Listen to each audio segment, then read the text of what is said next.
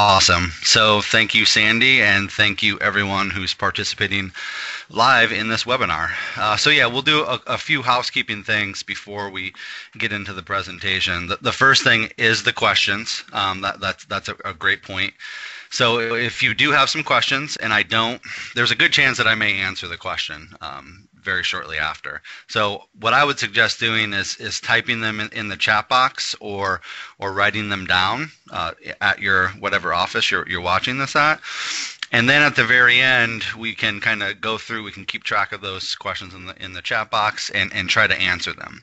Uh, I might see one pop up, but rather than stop the presentation and answer the question because I have a lot to get through, I'll probably just keep going and we'll try to answer those those questions at the end. Uh, so that being said, we have an hour to do this in, uh, but uh, just to warn you, this, it's definitely going to go over an hour. Uh, I, there's a lot of information to cover, and it's it's it's really difficult to try to fit it all in uh, to to one hour. Um, so we'll do our best, but remember, if, if you need to get off the call, th- this presentation is actually being recorded right now. So both Sandy and I will have it posted on two different respective YouTube pages, and we'll we'll definitely get you the link for that so you can watch this later if you have to go or you you have any audio issues and you cut out. You can come back and and revisit that. So so Sandy just said. Uh, she will be able to help answer some of your questions. And I also see that Lori George is on the call and Lori can probably help answer your questions as well. So that'll be a good segue into the presentation because uh, Lori and I are actually the two, well, two of three lead trainers for the Food Safety Modernization Act produce safety rule training in Illinois. So a lot of what we're going to talk about today is we're borrowing even some of the information from that, that same training that we're do, we do with larger growers, larger commercial growers, even larger urban farmers. And I'm going to scale that down a little bit and apply it to uh, the donation garden project that we're all involved with. So you can kind of think of it as, as small scale, good good agricultural practices. So some of it will be uh, very relevant uh, to even the larger farms, but we'll take some of, we'll try to make it apply and be more applicable to this this smaller scale uh, that we're working with here. So, so that being said, we'll we'll kind of go ahead and, and get into this. So the first thing I'll I'll talk about is the fact that I am actually participating in this in this GIFA project as well. So we have uh, the Dalton Food Pantry demonstration garden up here in Cook County. So here are two two images of it that you see here uh, that we we've invested a little bit of money in uh, this past year and we haven't even we haven't used the site yet, but we're using some of our funds to uh, get this site up and running and to apply some of the actually some of the practices and SOPs that we're going to discuss today. We're going to put those in play at our garden here. So so that being said. Um, I will actually probably be doing a series of vlogs and videos related not only to how we're setting our demonstration garden up, but but also how we're applying some of these food safety practices to the garden. So I, I, actually have a vlog that isn't that well known yet. It's called the Urban Ag Connect vlog, and I can I can send the link to to you guys uh, out in the field so you can keep track of that. And I'll I'll definitely as I make videos throughout the season, I'll make sure to post those on there so you guys can watch it and kind of see our demonstration garden grow, um, not only for our growing practices but also how we're applying some of these food safety principles. So so I'm in this with you guys, and I'm not just here to to, to speak down and say, this is what you should be doing. I'm going to be applying these practices in our demonstration garden as well.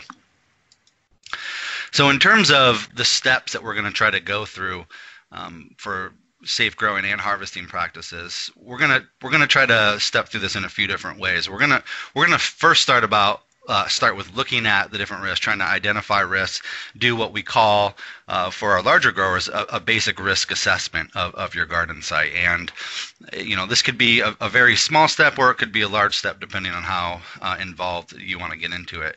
And part of identifying risks, once you do identify potential risks, you can also begin to put in place uh, both preventative and corrective actions depending on if you have your garden site already set up or you're you're taking um, you're actually going to be setting uh, your donation garden up this year for the very first time. So you can think about that both ways.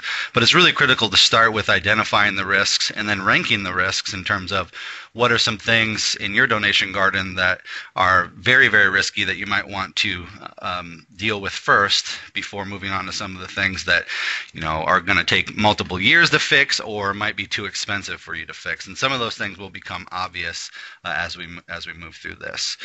The other thing we're going to discuss, and I want you to think about as we move through these different practices, are SOPs, so standard operating procedures. I have a slide coming up. We're going to dive into that a little bit more.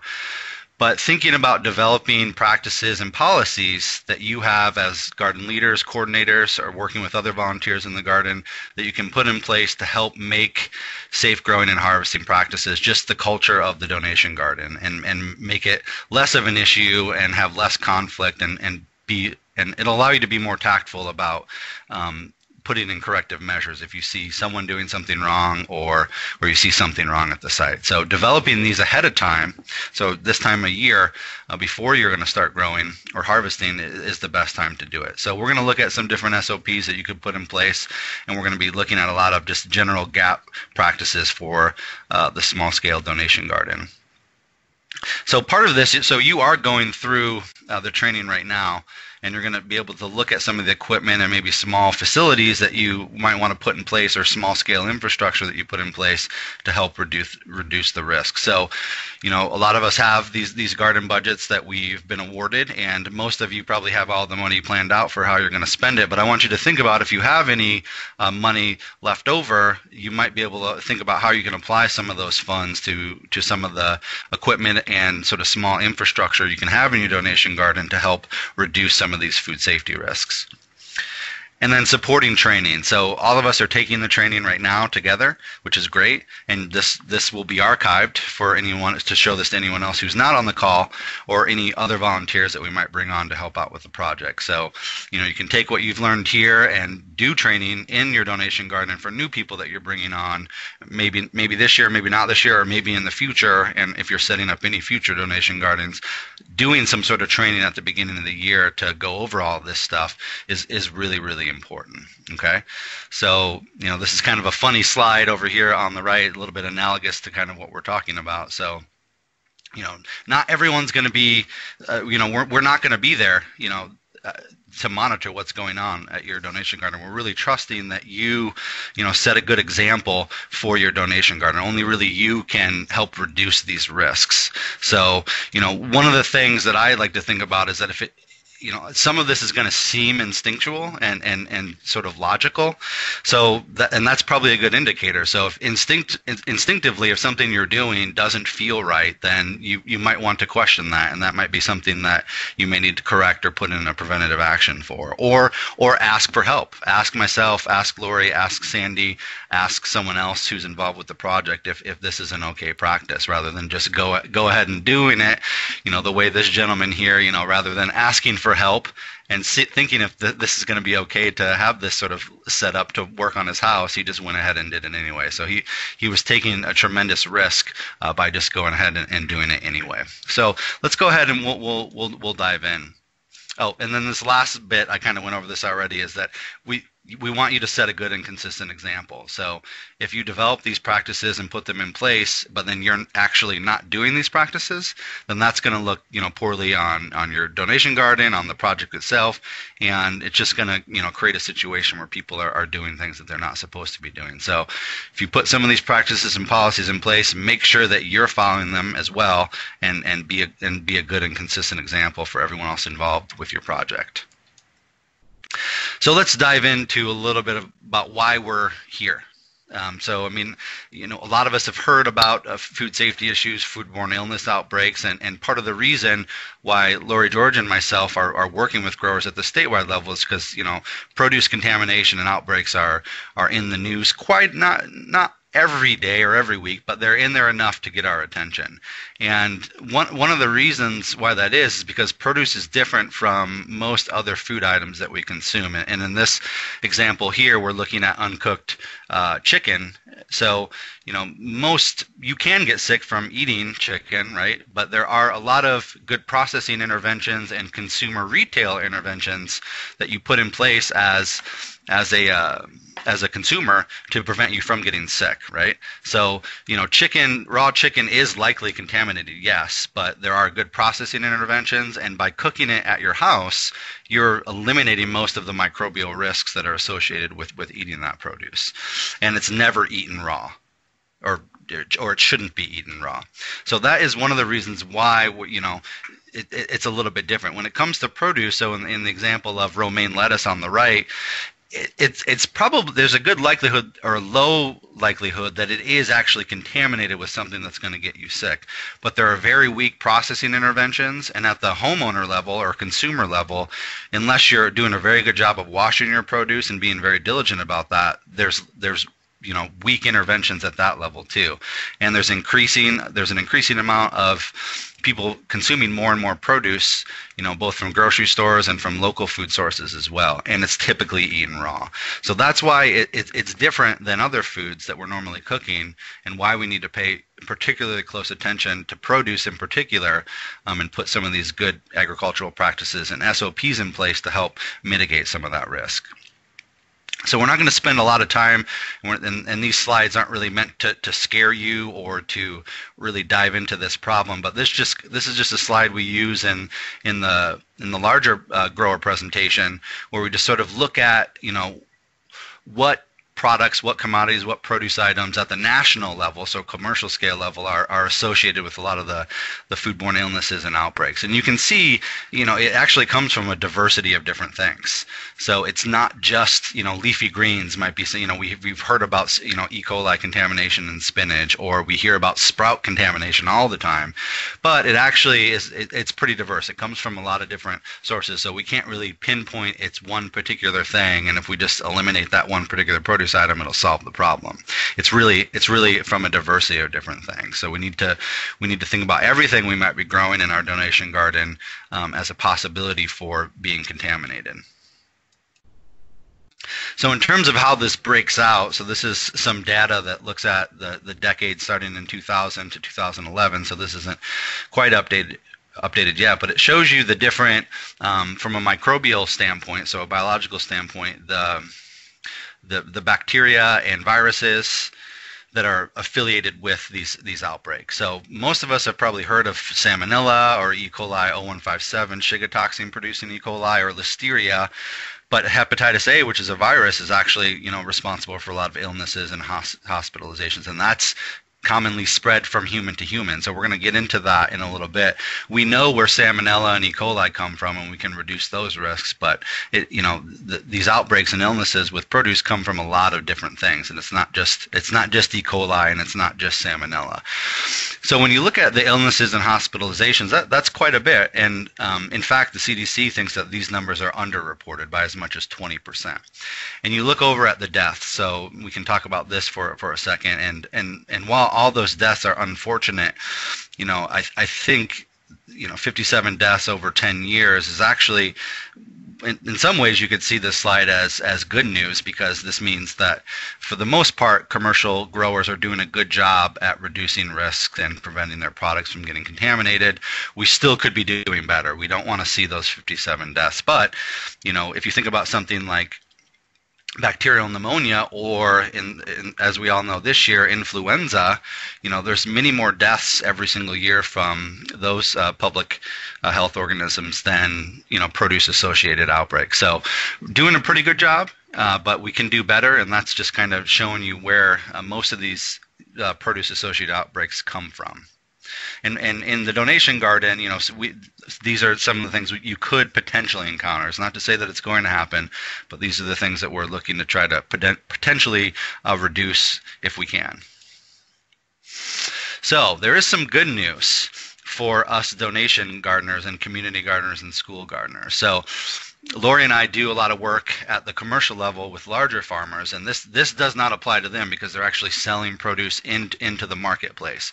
But for those of us gardeners and donation gardeners, community gardeners, school gardeners who are actually just donating produce, there is some federal legislation that's been in place since the early 90s uh, that actually has some protections for gardeners. This is called the Bill Emerson Good Samaritan Act. This is actually public law. So it, there are some protections for those who, who donate produce. So it, it still doesn't mean if you knowingly were to donate a contaminated item or you were to contaminate an item yourself and and and, and you know actually introduce it knowingly and they could prove that, you could still be held reliable for that. But in good faith, if you donate and someone were to get sick, that it's going to protect uh, you as a gardener or as a donation gardener or community garden. And it also sets a floor of gross negligence in in the case that you know maybe you did end up getting taken to court because they wanted to try to prove that you deliberately did something, it still sets a gross floor of negligence for that. So there are some protections in place as uh, for donation gardens, so that that'll help relieve some of this. Now that does not mean that you should still just not follow good food, good good agricultural practices, good food safety practices, or have good policies in place. But it, will help relieve some of some of the stress if you're worried about uh, food safety issues in the donation garden. So in general, but not explicit to the Good Samaritan Act, are, are some uh, principles that we'll go over here. So one is don't donate any produce that you wouldn't buy or use for your own family. So we're going to actually look at dropped produce in a little bit and what that means.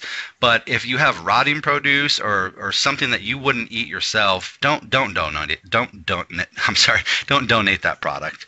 You know, compost that, you know, or dispose of it in another way. So that's just a general rule that I would keep in mind. Don't donate anything that you wouldn't eat yourself if you are using some sort of pesticide product, whether that's an herbicide, fungicide, or whatever, organic or conventional, make sure that you're following the labels. If you haven't taken our pesticide applicators training course, that would be beneficial.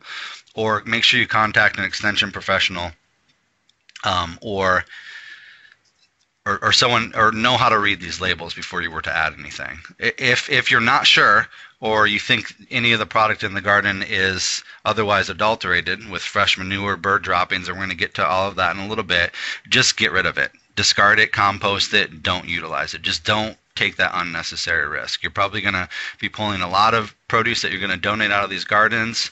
One rotten tomato or one tomato with a little bird poop on it isn't going to make a difference for your for your project. Okay, so now we're going to get into talking a little bit about uh, practices uh, to reduce some of these risks. And I'm emphasizing reduce risks. So it's going to be completely impossible to eliminate all risks. So we are just going to look at some things you can do to help reduce. Okay. I see there was some maybe issue about advancing the slide. Yeah, we are on slide eight right now, so it looks like some of most of us are seeing this. And remember, if any of us are having issues, this is going to be recorded, so you can view this at the end. So we're going to jump into some practices to reduce risks. But before we do that, let's talk a little bit about risk assessment and site assessment, particularly for, for growing practices and, and harvesting practices um, beforehand. Okay, so some of these things we're going to cover right now, you may not have any control over now because you already have your donation garden set up.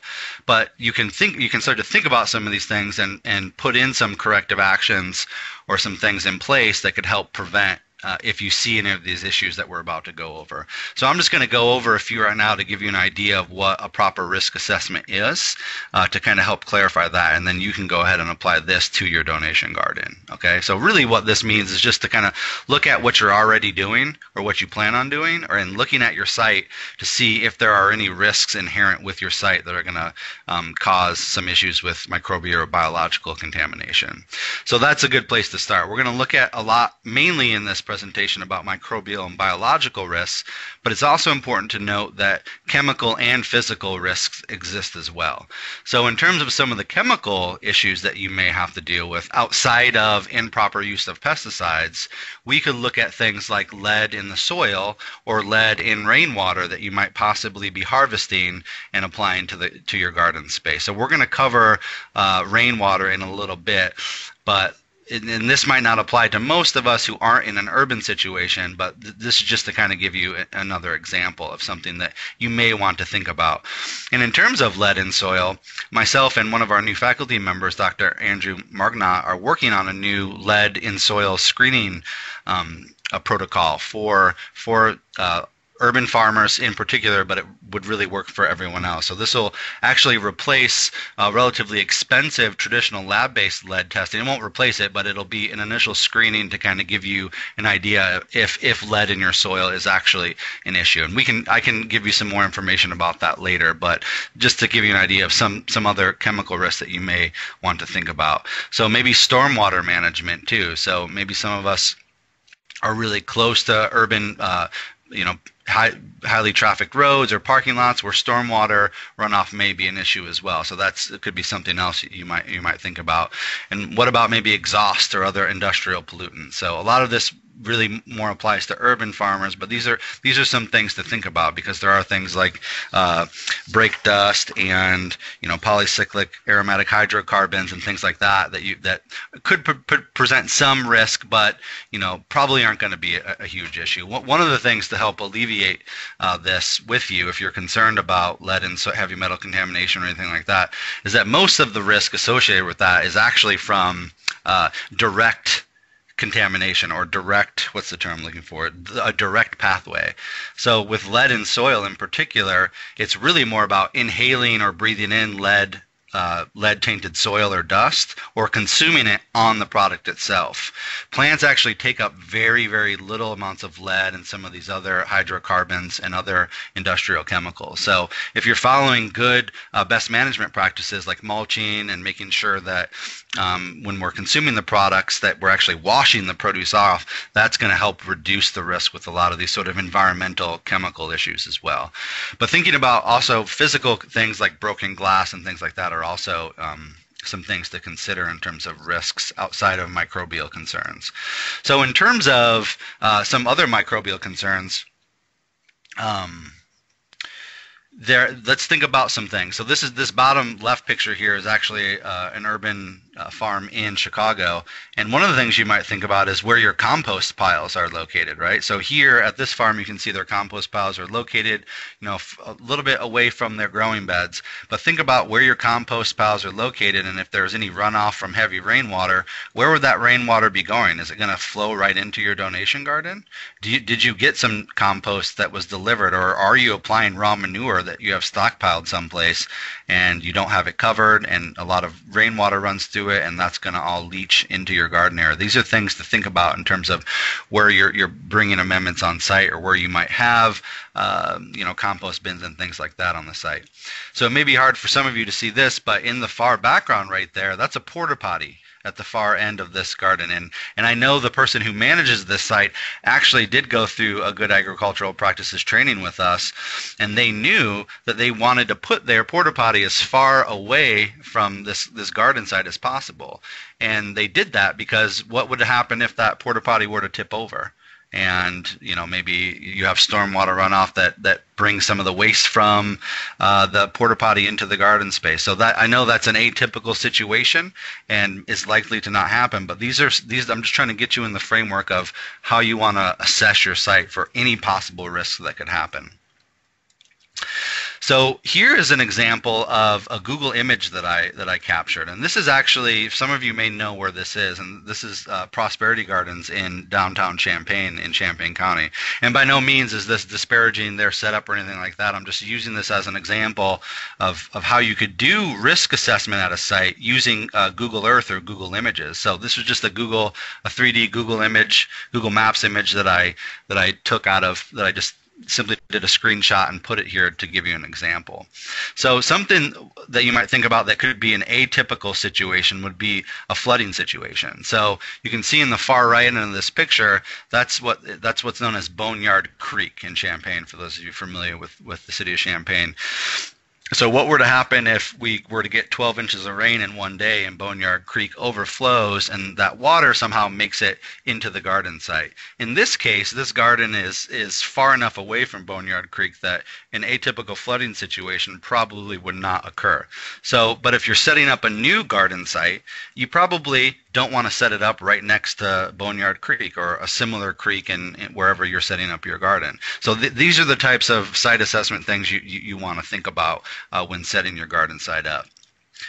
So the other thing to consider here, you know, this is I'm using the railroad track as an example, but this could also be like a busy highway or a busy thoroughway, or maybe there's an industrial um, uh, plant right next to your donation garden. How would you know pollutants from that potentially affect your garden site? And, and I'm not saying that that's what's happening here at Prosperity Garden. I'm just using this as an example for things that you can think about when assessing risk at your site. So let's talk a little bit about standard operating procedures and good agricultural practices. So this this sounds like a fancy term and it sounds complicated, but this could be as simple or as complicated as you want to make it. So an SOP is just really, you know, step-by-step instructions to give someone to complete a task.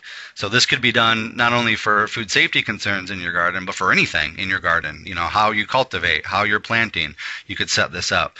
But in the case of for food safety issues and then maybe harvesting and post harvest, this might be very useful for yourself and for all the garden volunteers to, to make sure that they're following the practices that, that you want to implement. So when we teach growers this and we help them write food safety plans that you know are you know a whole binder full of information that is one way you could do it. You could write these down. The other thing you could think about doing is is putting together something i like to call a visual sop or a visual management cue. So here are a couple examples on the right. So you know, you don't have to do it this way, but this is just an example of a, a farm in Chicago, Chicago Lights Urban Farm. And this is a kind of a visual SOP that they have for their harvesting and post-harvesting procedures. So it lists different crops, it lists which order they want the, har- the crops to be harvested, which ones need to get bunched before washing, and so on and so forth. So you could think about putting together something like this for your volunteers or for your, your, your donation garden. You could laminate it, make it a sign, stick it somewhere where everyone can see it, and you can easily refer back to this so everyone knows uh, the practices that you want them to follow. So this is, I think these are really useful, and I think you know all of us could do this in some form or another for some of these other uh, GAP practices that we're going to look at here in subsequent slides. Here's another great example of one. So this is, I took this uh, photo from Ben Hartman he runs an operation called Clay Bottom Farm in Goshen, Indiana. He's written a couple really excellent books about lean farming practices. But he has this he has a concept that he calls the visual management cue. So this I understand this is hard to see, but I'll try to describe this. What this picture is is actually a picture of his washing and packing station. He calls it his lean-to.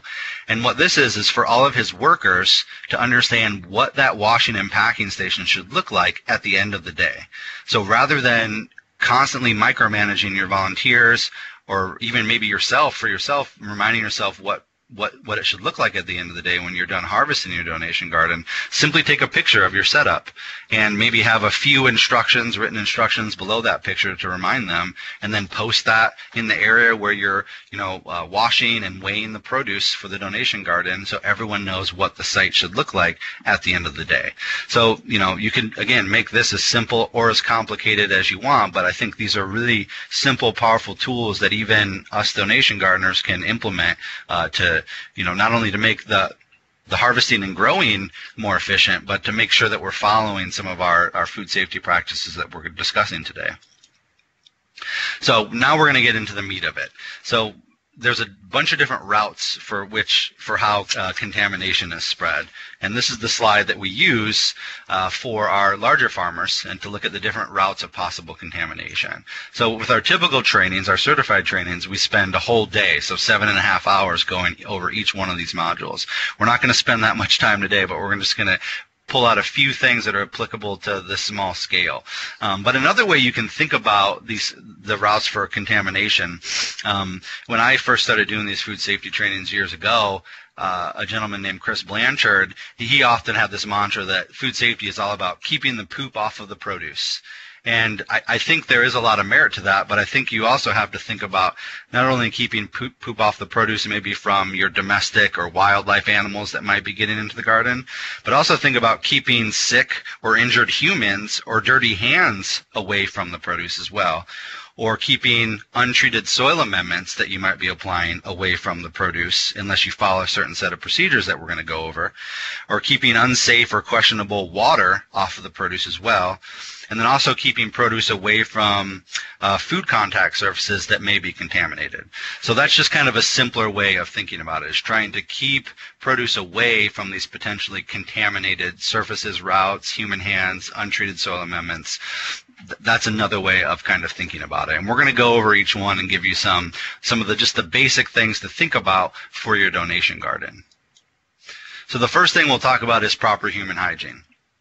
So humans can be a vector for transmitting disease. Okay, so we, we mentioned hepatitis A, we mentioned norovirus, so we're probably familiar with incidents of both of these in the news, but we can also spread um, fecal contamination either from ourselves or from animals that we're dealing with to the produce as well. Okay, and it really does require training. Human proper human hygiene seems like it's a no-brainer. We all think we know how to wash our hands, but there are some nuanced things with both hand washing and a few other things that, that you might not think of. And also think about injuries. What if somebody cuts themselves when they're harvesting in the garden? What do you do um, in that situation? Do you have a first aid kit on hand? That might be something that you might want to have on hand in case someone cuts themselves so you can deal with the situation and they can get back to helping with the harvest. So there are some obvious things, but there are some less obvious things that you should be thinking about um, when it comes to proper human hygiene in the garden.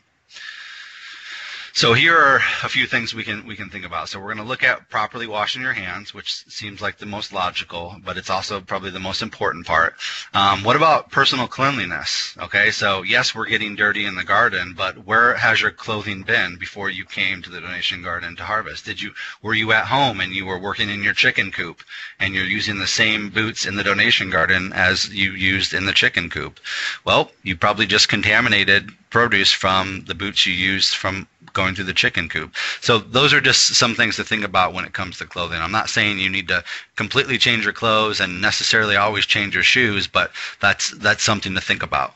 We discussed we discussed about getting injured or someone that's ill what I would just say is that if you have a volunteer come to the donation garden and they're obviously sick and obviously ill or injured, don't let them harvest. I mean, that may seem a little harsh, but we, you know, maybe there's something else that they can do that day rather than actually handle the produce itself because we don't want to run the risk of them contaminating the produce with norovirus or something that they may have that we don't know and then possibly getting someone else sick. How to implement practices to reduce food safety risk while working. Okay, so we, we talked about the SOPs, but what are you going to do if you see poop on or near donation garden produce? What's the protocol? Are you going to harvest that produce and, and donate it to the food pantry?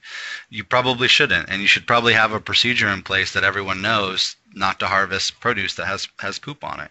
So that seems obvious, but these are things that need to be communicated so everyone is on the same page and and and really the volunteers coordinators everyone involved with this you're on the front line for all the ongoing activity at the donation garden. So if you see something make sure you bring it to the proper person's attention and and put in a corrective action uh, in, in, place. And if this involves you know an, another a fellow volunteer you know we want to be as respectful and tactful as we can but it's important that we remind people that there are policies that we have in place and and they should be following those so we're not going to go over this in great detail, but you know this is this might be a good SOP that you have at the donation garden, so or in the bathroom that hopefully you have access to, that for proper hand washing. So I'm not going to go over this because we've all seen this before, but you can use this uh, slide as your sort of baseline for how you want people to properly wash their hands. The thing I do want to note here is there's a little, we talk about single use disposable gloves. So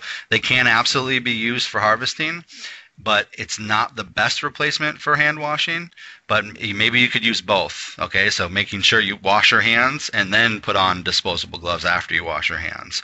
And anytime you change out those gloves, you're going to wash your hands between that. It's not, a, they're not a replacement for washing hands, but they can they can help. Hand sanitizers, on the, on, the, on the other hand, are absolutely not a replacement for proper physical hand washing under running water. It's fine to have hand sanitizers there for after you wash your hands. If you wanted to sanitize them after you wash your hands, that's fine, but they are not a replacement for actual hand washing. So, when should you wash your hands? And this is a good guideline. Uh, these are some of the obvious ones, so you could u- use this as an SOP in your donation garden as well.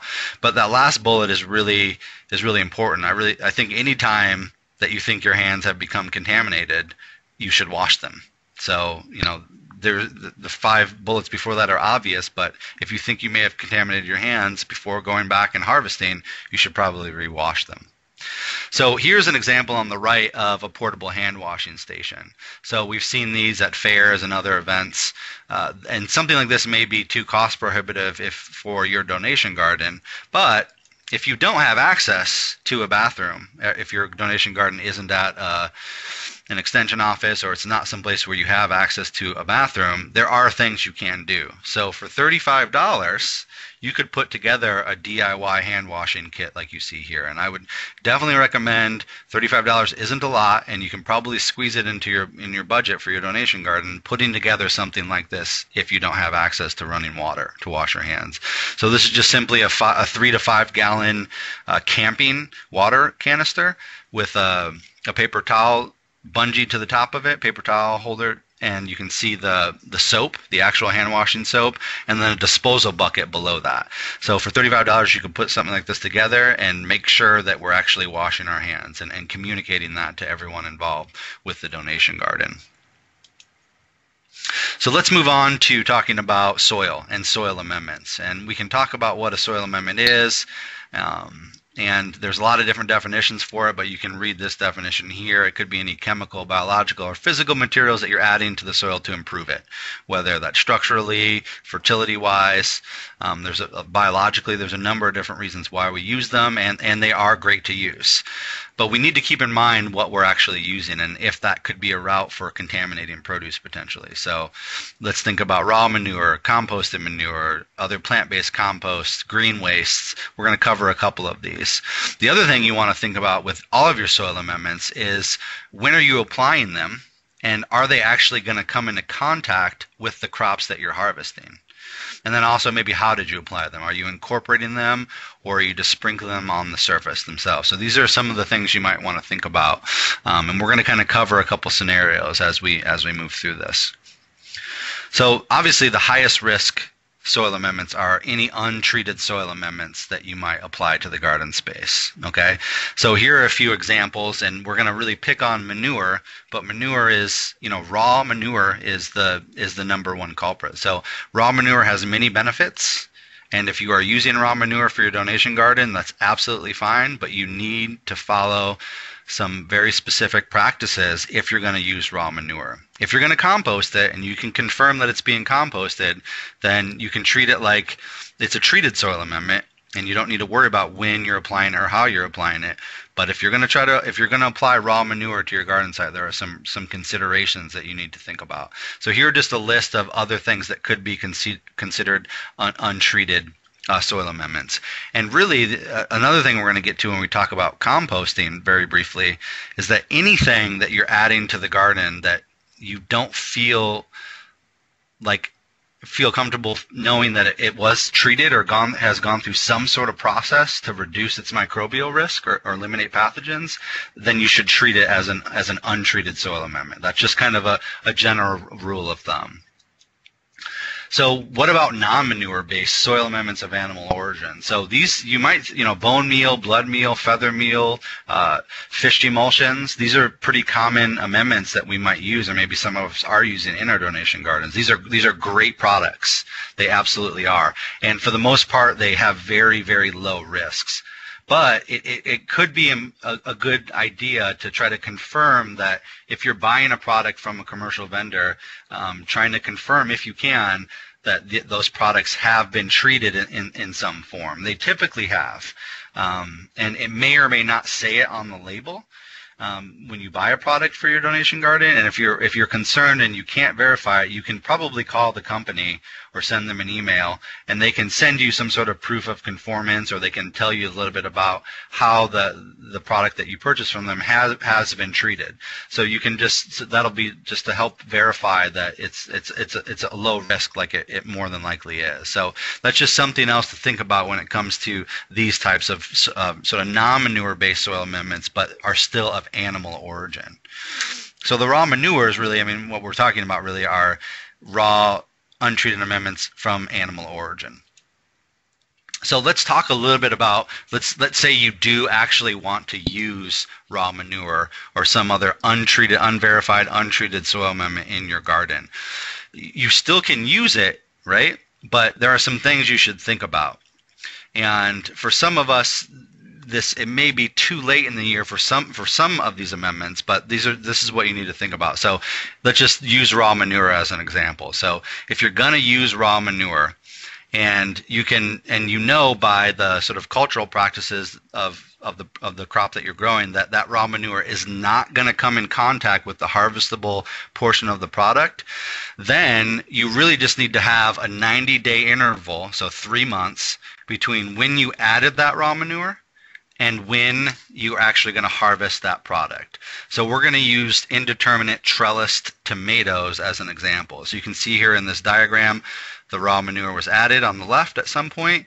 In between the 90 days, the tomatoes were planted and trellised, so the tomatoes aren't going to come in contact with that raw manure. And then, eh, you know, when the end of that 90 days after you added it, applied it or up, note that it's not when you planted the tomato, it's when you applied the raw manure, then you can harvest. So if you can time this properly, then you could use raw manure as long as it does, not come in contact with, with the product and, and apply that 90 day interval. So here's what that might look like if you don't know what an indeterminate trellis tomato looks like. This is in a in a high tunnel, so this is a bit, little bit larger scale. But you can see here these are tomatoes that um, are trellised off of the ground. And if we think about that landscape fabric as you know the place where the untreated soil amendment might be, you can see the tomatoes are not in contact with the amendment, and there's very low risk that it's going to actually touch the product that you're the produce that you're harvesting. So you can apply that 90-day interval, um, and and you should be okay. So the other thing I have in this slide, and I, I referenced this earlier, is uh, dropped produce. So this doesn't have to do with so well, it does have to do with the soil amendments, but I think it's probably a good idea, and, and some of you may think this is a little little much, but I think it's just a good idea to have a, a no dropped produce rule. So if you have a product like trellis tomato, so you see all these tomatoes that are on the ground in this high tunnel, I would have a policy in place where you're not bringing that those dropped items to the the donation pantry. Okay, um, if you have untrellised tomatoes, so you're not actually trellising them, I I would try to trellis them and get them off the ground. If it's something like a carrot that actually does come into contact with the soil, that's a completely different story. That's totally fine to harvest those carrots. But if it's something that normally doesn't come into contact with the ground, like like a tomato that's trellised like this, and it drops to the ground, you have no long idea how long it's been sitting there. I, it's just a little bit of a risk, and I would just suggest not bringing that type of drop produce to the food pantry as a general rule. So what about if if your raw manure that you want to apply is going to come in contact with the harvestable portion? So let's use like radishes as an example. If that's the case, then you really should be applying a much longer interval between when you're applying that raw manure and you're going to harvest the product. So in this case, um, you apply the raw manure and then you plant radishes after that, and it's only 45 days later. Then that that that wouldn't work. But if you apply the raw manure, wait a number of days, plant and then you get to that 120 days, then you're okay to harvest the, the, the, radish at that point. So these are just some things to think about if you're going to be using high risk untreated soil amendments. I'm not, it's not to say that you shouldn't use them, but you should think about these, these intervals between application and when you're actually going to be harvesting if you're going to use that type of soil amendment. So this strawberries could be an example of that. So if you have strawberries that are in direct contact with the soil, so we'll use the landscape fabric as this example of soil, then that would be something that you would apply that 128 day interval between application and harvest. And somewhere in between that 120 days, you could plant but you still have to have that interval in play 120 days. Now that is a pretty significant period of time. Okay, 120 days is four months. So this would be a situation where you'd be either applying, if you applied raw manure last fall, and now you're starting to plant in the spring, then that would totally suffice that 120 day interval and you wouldn't have to worry about it at all. So really this is kind of just getting to the point that if you're going to use raw manure, maybe trying to apply it in the fall is a better idea than applying it in the spring right before you're getting ready to plant. So green waste, and we can also think about this as yard waste. Definitely lower risk, but not necessarily zero risk. So if we're using uh, leaf or grass clippings from the city, there could be issues with that. There could be chemical hazards. There could be persistent herbicides in uh, in in the leaves or grass clippings. There could be glass or other plastics in there. So we need to not think of them as completely zero risk. Um, and there could be biological hazards, microbial contamination. It, the likelihood is low, but if we have any concern about it, then we should be putting all the materials, any materials we're concerned about, through a composting process before we're actually putting them into the garden. So, yard waste is an example. If you're getting any pre consumer food waste from a restaurant or a cafeteria, that could be, you know, there's you, you could utilize that, but it's probably a good idea to make sure you compost it first before just applying that uh, into the garden. You know, leaves and grass clippings are a little less risky for sure, but you have to think about some of these other risks, like the chemical and physical hazards as well, uh, when thinking about adding green waste uh, to the donation garden. So composting. Okay, we're not going to go into the details of composting. I'm sure some of you are, are, are good composters. Um, but really the only way you can verify that you put any of the amendments that you want to apply uh, through a treated process is by using a, a, composting method. So whether that is like an aerated static compost or turned hot composting. You know, th- this is actually active hot composting. This isn't just piling material in a corner and, and doing cool composting. That's that's not what we're talking about. We're talking about actively taking the amendments that we might want to apply, mixing them together, bringing it up to temperature, and monitoring it, turning it, and, and actually doing hot composting. If you can do that, and that's what you're doing in your donation garden, that's great. Ideally, you would be keeping records and making sure that you're following the right steps, but you know, at the commercial level, you have to keep those records and make sure you're doing that. At the donation community garden level, these are just practices that you should probably put in place. It's a good idea to compost virtually everything if you can before you apply it to the garden. So hot composting is one option, but if you're doing something like vermicomposting, you know, that is an option too. Vermicomposting isn't hot composting and there's other treatment processes as well that we're not going to go over. Um, but but if you if you vermicompost some material, then that that would be considered a treatment process as well. Okay, so here this is this is I really like this slide. I borrowed this from Chris Enroth, and but this is a really interesting point. Uh, for if we're hand, regardless of what we're handling, but in particular with if we're handling soil amendment materials, it might be a good idea to designate specific equipment and tools for handling those soil amendments. So I love this example because I know there are some you know gardeners who like to use five gallon buckets to apply compost, to apply fertilizers and other amendments. So it's probably a good idea to maybe have two different buckets for two different things. So maybe you're also using the five gallon buckets for harvesting produce. Let's make sure we're not using the same same bucket that we're applying soil amendments with to actually harvest produce with, unless you can verify that you're putting that bucket through a cleaning and sanitizing process before you're using it for harvesting. Maybe we have color coded buckets or, or color coded tools that we might use that are one is specifically for soil amendments and the other might be for harvesting. So those are some things to think about as well. You might be able to put some SOPs in place um, or visual management cues so people know, you know, which equipment they should be using for harvesting and which they can use for other activities in the garden.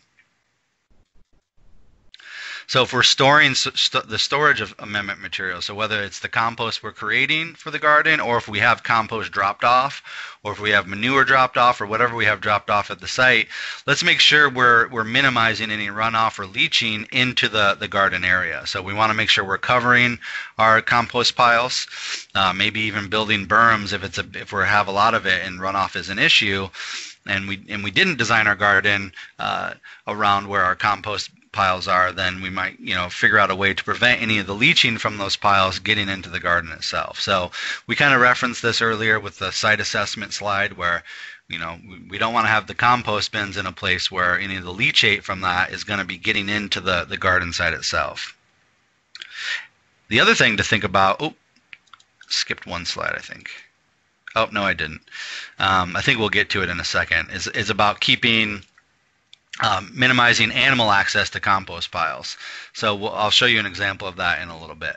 So let's move on to water. And water is one of the most critical components of this in terms of a route to contamination. And, and when we talk about water at a variety of scales, there's two different types. There's production water and post-harvest water. The production water is the water we might be using to irrigate our crops or the or, or spray our crops if we're applying any sprays.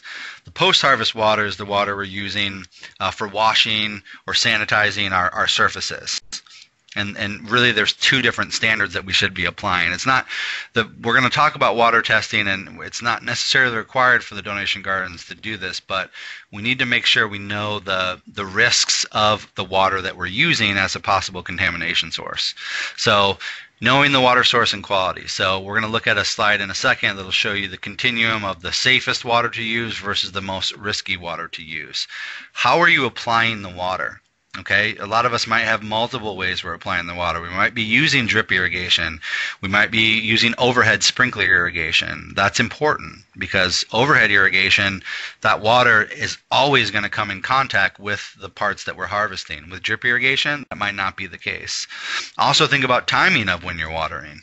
If you water maybe three or four days before you actually harvest, then that is an interval between which, if, if there were any uh, microbial contamination issues with the water, water, then you've applied an interval. So the sun is beating down on the product. Uh, the UV rays from the sun, the environmental conditions are, you know, lowering the amount of microbial load maybe on that product. So if you're applying some sort of interval between when you water and when you harvest, that's going to re- help reduce the risks as well. So water is important because water, you know, it, it can it gets everywhere it's the biggest control point on the farm. And if we can use the, the safest sources and use it properly then that can really help reduce the risks of microbial contamination. So in terms of the probability of contamination this is the slide we use for our, larger growers but it, i think it applies to all scales. So the absolute lowest risk and the best source that you can use if you have access to it is municipal water. So if your donation garden or community garden is using public water, municipal water that's actually treated and monitored, then the odds of that being contaminated are relatively low. So as a commercial grower, you don't even need to test that water. You can for peace of mind, but you don't need to because the local water authority is actually monitoring that for you. So groundwater is somewhere in, the middle. Okay, so you know, soil does filter contaminants out, but there still is a risk that groundwater could be contaminated, but it's somewhere in the middle. So if you're using well water to irrigate your garden, that's fine, um, but it's it, it's somewhere in the middle. The riskiest water source is surface water. So for larger growers, that's typically using streams or ponds, irrigation ponds, but for donation and community gardens, uh, there's another source of surface water that I've already alluded to and that's rainwater collection. So I would treat if you have rainwater collection in your garden, it's not to say you can't use it, but you should treat this as surface water because it's it's highly likely that it is contaminated either by, you know, bird droppings, other animals, maybe heavy metal issues depending on the roof materials. You cannot really verify unless you test the water to know that it's it's not contaminated. So all is not lost. You can still use this water, but you should use some best practices or treat the water so there are some sanitizers you can actually use to treat the water um, if you're going to use this. So the first sort of non-treatment practice you can use is something called the first flush.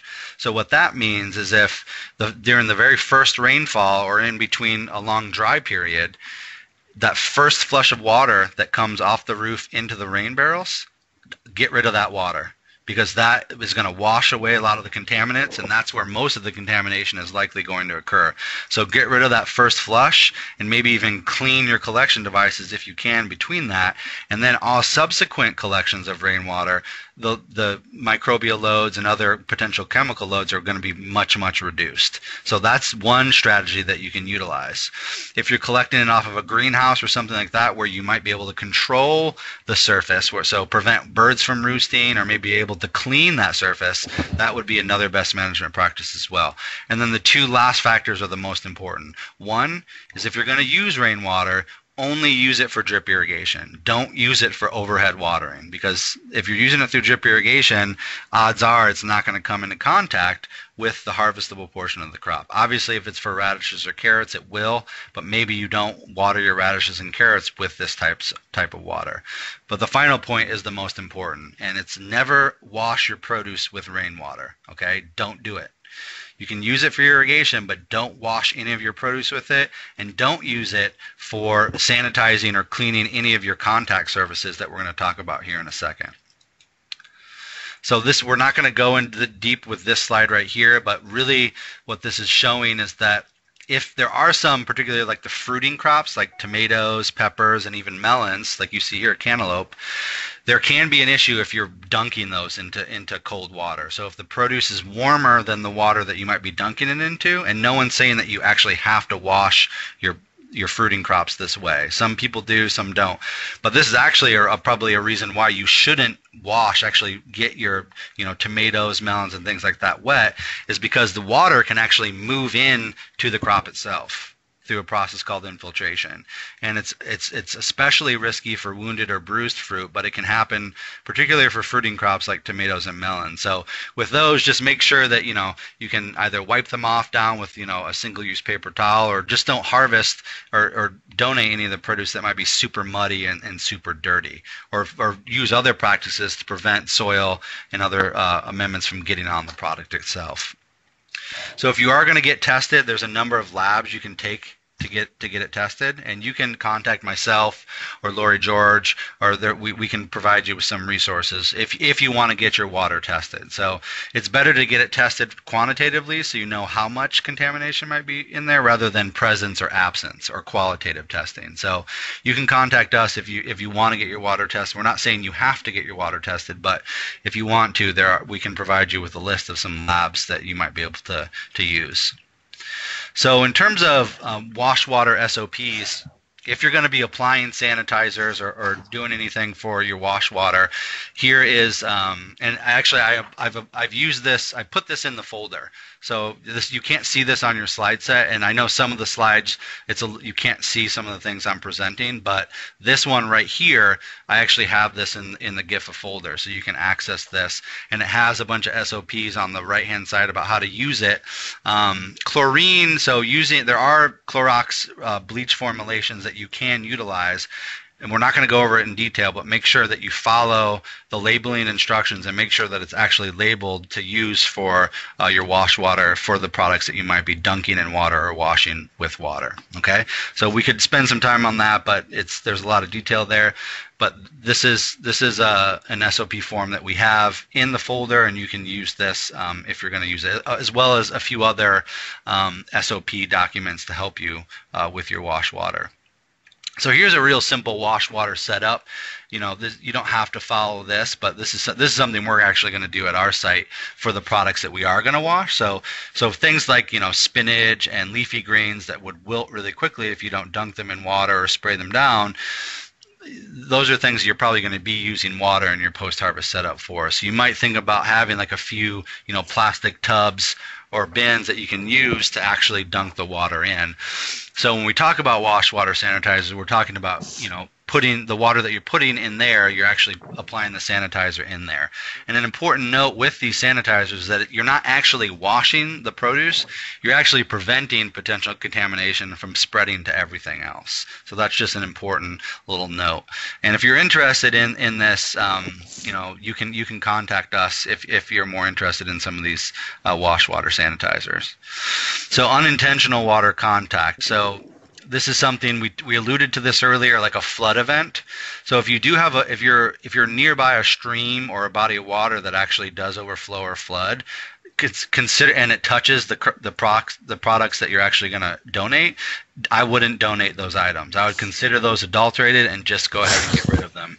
And, uh, hopefully that doesn't happen, but in the unfortunate event that it does, then um, uh, then just consider it to be adulterated. If an irrigation emitter breaks, or, or, or, the crops or water is coming into contact and you didn't mean for it to come into contact with it, you know, as long as the water is safe, as long as you're using your, your municipal water, then the odds are that's not going to present a risk. That really is only a big issue if you are using surface water like your rain barrel water and that accidentally comes into contact with produce and you didn't mean mean for it to do. Then you might consider not actually utilizing that produce.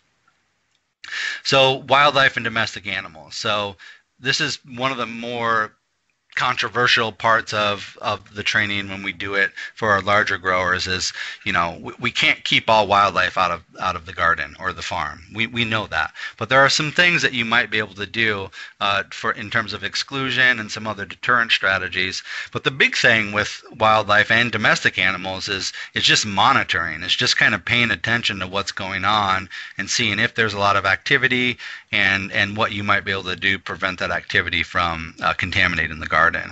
So if you can figure out things that are going on around you, if you're monitoring any sort of wildlife that have um, moved through the garden, that's an important thing to, to learn how to identify.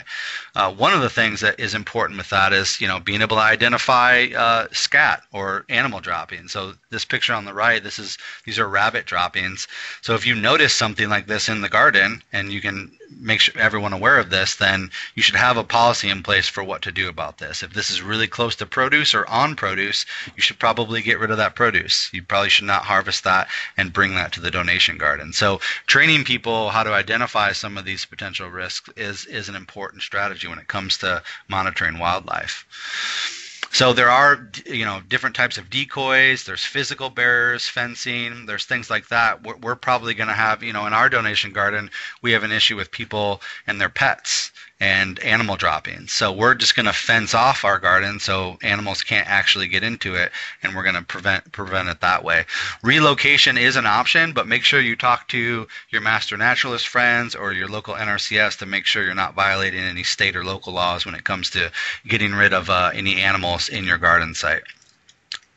So I mentioned the compost bin. So one of the ways, if you have a compost bin that might be attracting animals, you can think about fen- you know enclosing that compost bin like you see here to prevent uh, rodents from actually being attracted or getting into your com- the compost itself.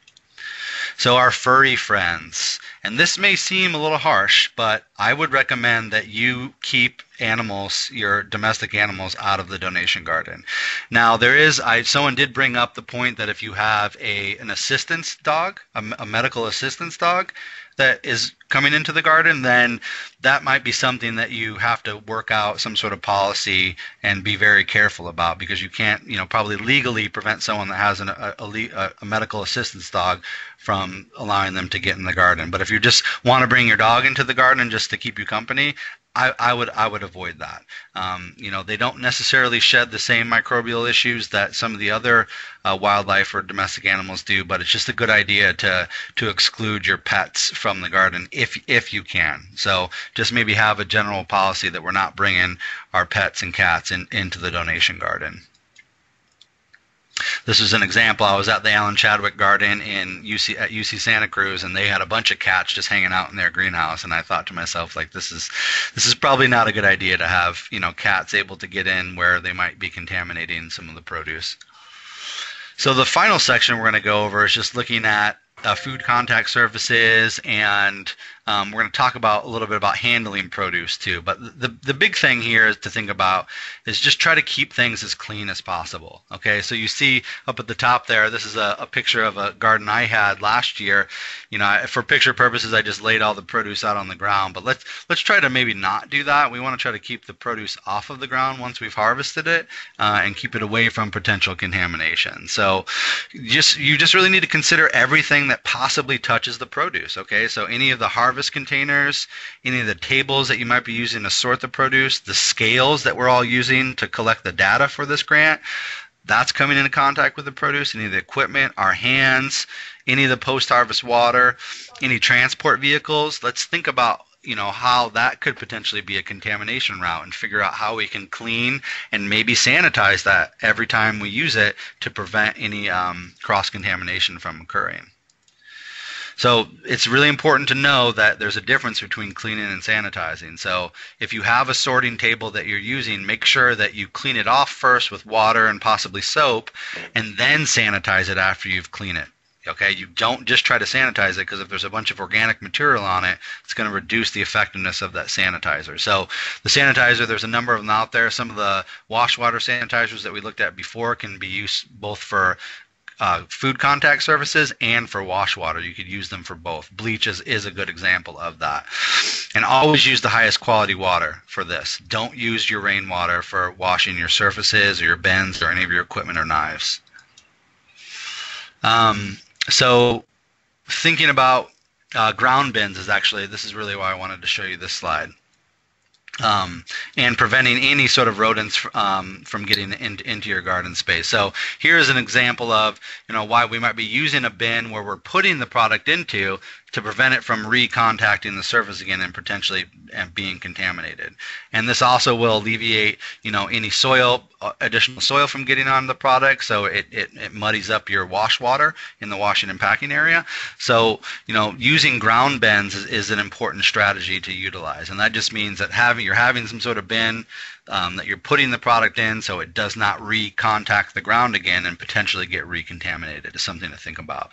And also maybe how we're storing our bins. We don't want to attract rodents any, any way we can. So even most of us are our little packing areas and weighing areas might be outdoors. That's fine, but let's just make sure we don't have a setup where we're attracting rodents and creating little hiding places for them to to have little nests and issues like that. And if we if we see anything like that, we need to deal with it immediately. Make sure we clean up the mess and sanitize everything before we consider using it. So don't store bins or other harvest items in a way that might create these hiding places. This is an important note. So I've seen gardens that have, you know, sorting tables like this where they're outdoors, they're made out of wood, and they're storing all their plastic uh, harvest bins underneath of it, and it's super cluttered. I would av- I would avoid a situation like this if you can. You can see they actually have an animal trap in there because they they've created some nice little hiding places for animals to hide. Let's try to make it neat, even if it's outdoors. Let's try to make it neat and easily cleanable, and a situation where you know rodents and other animals can't get in there and actually potentially contaminate some of our equipment we're using for our donation garden.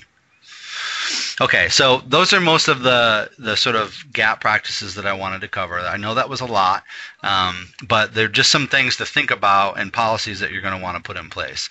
Really quickly, we're just going to close out. And I know we're running a little over on time, and if you need to go, that's fine. But remember, we're going to continue on and finish this, and it's going to be recorded, and you can refer back to this. So now we're just going to sort of talk about um, some post-harvest handling strategies, and this this this relates to food safety, but this also just relates to reducing the quality of uh, reducing the, the quality of the the produce that we're harvesting in the garden. And the, the the point here is that you should have a plan in place. Let's not go into the the growing season and do our very first harvest and have no plan in place for how we're actually handling the material um, and bringing it to the uh, the food pantries. Let's let's have a strategy in place before we go in, so we know what we're doing. And in you know, produce contains a lot of water, and as soon as you harvest it, it, it begins to, to respire and lose that water very, very quickly. Some things are lose water quicker than others. So tomatoes can be harvested and sit for a little while before they start to go down in quality. But things like greens, salad greens, kale, bunching greens like that, the moment that you harvest them, if you let those things sit out in the sun, they're going to wilt and it's not even going to be good to bring to the donation garden anymore. So let's make sure we understand that, understand how we're going to cool that product down and how we're possibly going to, you know, keep that cold chain in place all the way to the food pantry if we can.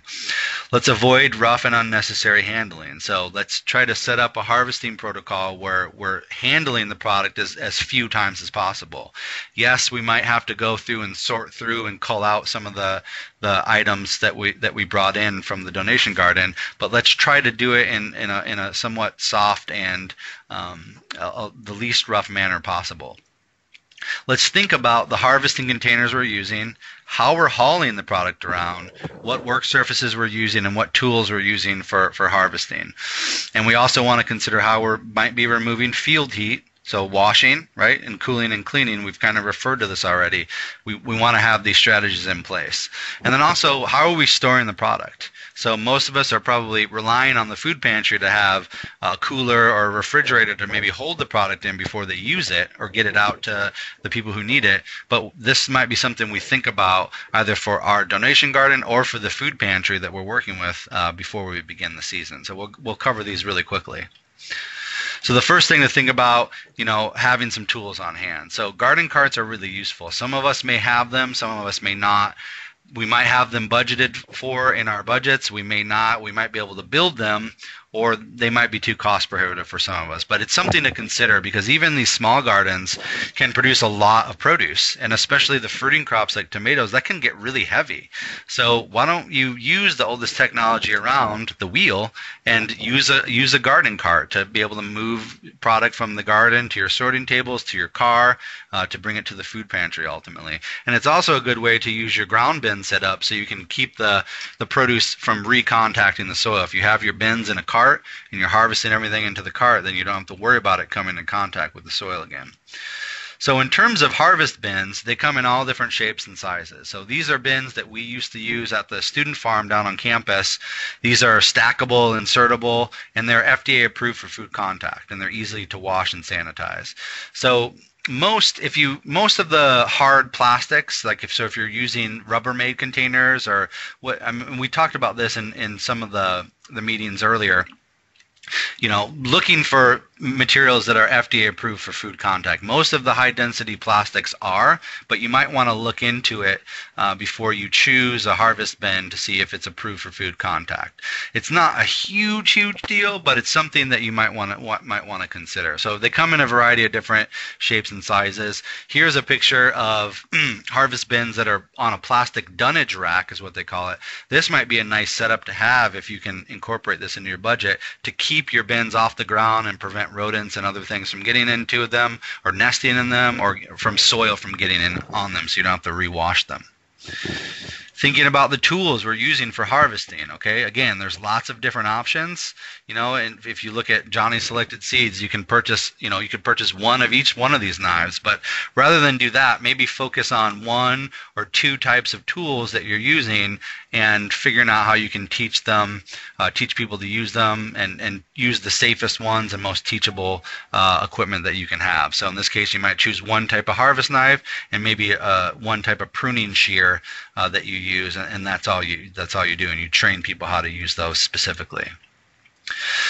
So let's talk about washing and packing areas. I've, I've kind of referred to this already and you know we're not saying that you have to have an area like this but I, ideally you know some of the products we're going to have to probably cool down and wash and sort so it's good to have some sort of area you know out of direct sunlight um, that you can quickly get into cold storage if you have that. And we're going to look at that in a second. So ideally, we'd all have a permanent washing and, and packing structure, but that's likely not going to happen for most of our donation gardens. But maybe having pop-up tents like you see here, or maybe like an umbrella that you put on your uh, garden cart that might actually, you know, keep the product out of out of the sun. So you know, maybe even a simple structure like that could be a good space to get the product out of the sun, so you can handle it, weigh it, pack it before you bring it to the donation gardens. And here you see they have real simple dunking tanks that you could put together. Those are larger 100 gallon dunking tanks. I showed you before that there are some options for smaller dunking tanks, and we'll, we'll look at some of those in a second. So if we have access to stainless steel tables, that's the best, but obviously we're not all going to have stainless steel sorting tables. But if you can get like a plastic folding table that you could easily wash and resanitize to sort on, that that's better than, than doing it on the ground or in your in your garden cart itself. So any surface that's going to contact the food, make sure that you can wash it and easily sanitize it is the critical part stainless steel is the best, but you know plastic surfaces are fine. If you have wood tables, you can use them, but things like wooden picnic tables are just they're just going to be hard to consistently clean and sanitize. So I would recommend you know getting some sort of plastic folding table that you can set up every time you're doing your packing and weighing um, that you can wash and sanitize before each use. So let's talk about some cold storage options. So you know, maybe the food pantry that we're bringing our, our products to actually have a, a large cooler. Maybe they have a walk-in cooler uh, that, where they can put the product before they, they get it out or they utilize it. Um, you know that's great. If they do then then you don't have to really worry about this. But there are some options that we might be able to put in play either at the donation garden or maybe that we could uh, put at the food pantry to help keep the product cold as long as possible and increase its quality. So this is actually an example that we're going to do at our donation garden here on the left um, and it's a real simple DIY chest freezer conversion so if you have a real simple chest freezer that you either have or you could purchase for a couple hundred dollars. You can couple that with this thing you see in the middle here. And this is a A419 Johnson control unit. And what this is, is you plug the chest freezer into this controller unit and that controller unit into the wall, and it converts that chest freezer into a cooler. So you can set the temperature. It might be kind of hard for you to see, but you, it's set at 36 degrees. So you could set it for refrigerator style temperatures, and it can and it converts it to a refrigerator rather than a freezer. And that way you might be able to store some of your items in there after you've harvested them or at the food pantry site to keep them cool long enough before you they go out for donation or they're actually utilized. So we're going to do we incorporated this into our budget for our donation garden. We'll we'll document this and show you uh, the progress of this. So if you're interested in this, you can contact me or, or follow along on the vlog series.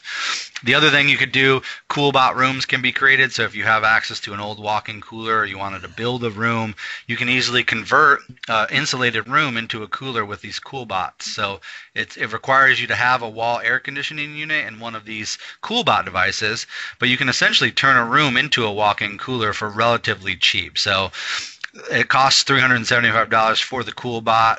Maybe you have an air conditioning unit obviously you'd have to build an insulated room or have access to an old walk-in cooler to do this. But this is just an option. Um, this is maybe a little bit more than most of us are going to do but i just wanted to show you that there are some some other options out there as well so we'll just run through these really quickly to, to finish off, just to show you some examples. This is a diagram on the left of a little bit fancier, simple wa DIY washing and packing area. And you might be able to use some things here um, to design a nice flow for your little washing area. So pop-up tents, temporary plastic tables, your scale. If you had a hand washing sink and a dunk tank, that would be, you know, optimal. So, you know, these are some things you might think about if you have some extra money uh, to put in to your donation garden, thinking about putting together a simple area like you see here on the left. The other thing to think about if you're going to set something like this up is how the flow of, of it. So you want to make sure that you're not, you know, stepping over other people and there's nice flow for the product to come into the area and move out. So that's something to consider as well. Here's a picture on the right of the of the student farms uh, dunk tank area, hand hand washing sink area. So this is really obviously really nice and a little bit bigger than most people are going to utilize. But just to give you some ideas, here's that you know three Tubtrug plastic tub dunk tank system. This might be something that you could employ as having a series of small dunk tanks that you introduce wash water sanitizer into and, and dunk your product uh, like your leafy greens in, in, in a in a bin like that. Here's another picture of, of some other washing and packing areas and different types of surfaces. So again, these are fancier, but just to kind of give you an idea of what some of these, you know, dunk tank and sorting areas might look like and how you might be able to apply something like this to your donation garden. And again, this is just a sorting table. What, when I, I, mentioned a sorting table multiple times, and for you, it just could be a simple plastic table where you lay all your peppers out and sort them into your bins um, as you call them out before you bring them to the donation garden. And on the right is a simple root washing table that we had set up. So you could have some variant of this possibly. Um, the thing about this to think about is if you're using a root washing table, make sure any of that water that you're spraying your crops down with isn't recontaminating other products or recontam- or, or being reintroduced into the garden itself. So to close, um, I just wanted to say, you know, it's impossible to eliminate all the risks, okay? But definitely taking the time to develop some of these practices and SOPs for your donation garden is, is definitely going to help out. And if you have these actions in place, make sure you tactfully and respectfully you know make sure people are following them. And and and make sure you yourself as a garden leader are following them as well. And the most important thing is really just to carefully observe and report any potential food safety issues that you see in, in your donation garden and report them uh, to the coordinator, the educator, or, or other volunteers to, and, and implement some sort of corrective action to, to help to help mitigate that situation. So so thank you guys so much for participating. Here is my contact information right here. Um, this is my email address. You can contact if you have any questions. But again, this is going to be recorded and it's going to be archived permanently, so you can refer back to any portion of this and um, if uh, water testing recommendations, any of those wash water SOPs, you know, we can we can get that information to you if you ha- if you have some questions. So so that's all I have uh, for right now. And if there are any questions that you guys have, go ahead and type them in the in the chat box right now, or you could unmute your mic and ask them. Uh, but we have 50 people on the call still, so that might be a little chaotic. Mary asked the question, and it's a very, very good question. How often should wash water be changed? That's a, an excellent question, Mary. Um, it should be changed. There's a bunch of different ways you can you can look at this, and maybe I can go back to a slide or two to reference this. So maybe let's look at these uh, red, yellow, and green uh, tub uh, they call them Tubtrugs i think is what the, the name of these are. So you should change the water when it, when it gets excessively dirty okay? So w- when when is it excessively dirty? Is there a quantitative way to measure that? There actually are things you can do. There are these things called Secchi discs that you could put in the bottom of these containers. So a Secchi disc essentially is like a circle that has uh, part of it's black and part of it's white and you could laminate something like that and put it in the bottom of one of your uh, wash tubs. And when you can no longer differentiate between the black and white in the in the plastic disc then it's time to change the water. The other thing that you could do is you know that there's an SOP you could do with that, but you could also if if, the, if you just take a maybe a, a mason jar full of water and you pull it out and it's super dirty and, and very unclear, then it's time to change that water out. Because if you have any of these sanitizers in there, the, the dirtier that this water gets, the less effective the wash water sanitizers are from preventing cross contamination. So if, if it gets excessively dirty, and there are ways you can quantitatively measure this, but if you just if you take a, a little sample of it in a mason, clear mason jar and you see that it's really cloudy and really dirty, then it's probably time to change the water. So, and I we can send you some, and actually in some of the SOPs that we have in the in the folder, the box folder, there are a couple uh, Secchi disc SOPs that you might be able to use, and it, and it would be a fun activity to do as well uh, with you, with your volunteers. Uh, Sarah Ruth asks, "What's the Clorox sanitizing ratio? Can the sanitizer mixture be kept in a container for a set amount of time?" so I again in the box folder we have uh, a couple documents that will go over that. Um, in terms of having a, a, sanitizer ratio ahead of time, I wouldn't recommend that because what you're doing, so say you're using a properly labeled Clorox bleach for your wash water sanitizer, you would just have the, the pure concentrate on hand, and every time you're setting up a new uh, dunk tank, you would just add the right amount of the concentrated bleach to that amount of water. Okay, so you're not you're not storing any of this, you know, the pre-made sanitizer on hand. You're making up a fresh batch every single time. And there's actually ways you can test the water to make sure that that it, it actually has the proper amount of chlorine or the peracetic acid. So you can get test strips that actually tell you how much you know chlorine concentration is in the wash water, and all of that is in the SOPs in the folder. Um, it, it, some of it can be very detailed, and you know I could we could talk about it for, for a while on here, but there are SOPs out there to, to help um, to help guide that, and, and and really simple ones too. So it's not super complex, but just make sure that you you have once you have a concentration that you're adding to each one of these volumes of wash uh, wash tubs that you make sure that you keep track of that and and you're repeating that every single time. Uh, Connie asked the question. How can we get a paper copy of this uh, webinar? Um, so in terms of a paper copy, you can print this out. So Sandy uh, Mason sent out a PDF of it. The PDF is protected, so it can't be edited, but you should be able to print it out. And you can print it out you don't want to print it out one page per slide. If it's a PDF, you can just print it out in multiple slides. There's an option for that. Uh, the problem is, is you'll notice some of these animations on here interfere with some of the slides. So if there's a particular slide that you're referring to, um, I can I can send you that. Like in the case of that the list of the wash water sanitizers that is blocked in in this in the PDF version of the presentation, that information is actually in the box folder, so you can find that chart in there. Yes, and Lori reminded us all that you should just follow labeling instructions well. So whatever product you're going to use for your wash water sanitizer, whether it's a peracetic acid or a chlorine bleach type thing, make sure that you follow the labels to a T. See. And and Sandy said also check with your local extension office. So yeah, so for any of this, you know, we're not we're not leaving you in the dark with this. If you have any questions about this, feel free to reach out to myself or Lori or Sandy, and we can point you to the right resources to make sure that you're you're, you're adding the uh, wash water sanitizer properly.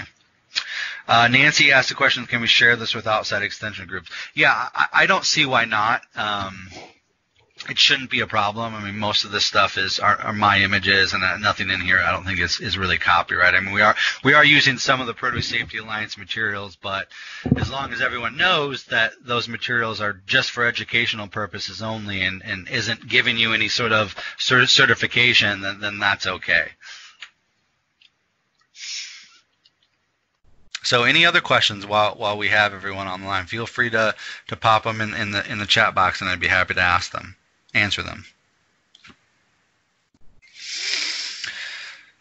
Okay, if if not, then you know I, I want to thank everyone for, for joining us, and um, I know this might seem daunting for some of you, but I think if you can just take uh, some of this and maybe some of the riskier things that you might identify when you assess your garden and implement some practices to help reduce risks, that, that, that that's just gonna that's just gonna work really well for you. So um, just take it one step at a time, and um, it's remember it's all about reducing risk, not eliminating risk. And uh, yeah, best of luck for the the 2018 growing season, and and we'll be here uh, to help assist you if you have any further questions.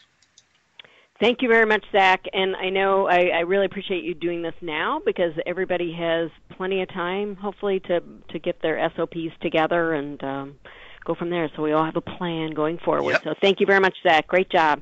Awesome. Thank you, everyone. Awesome. So thanks, Sandy. I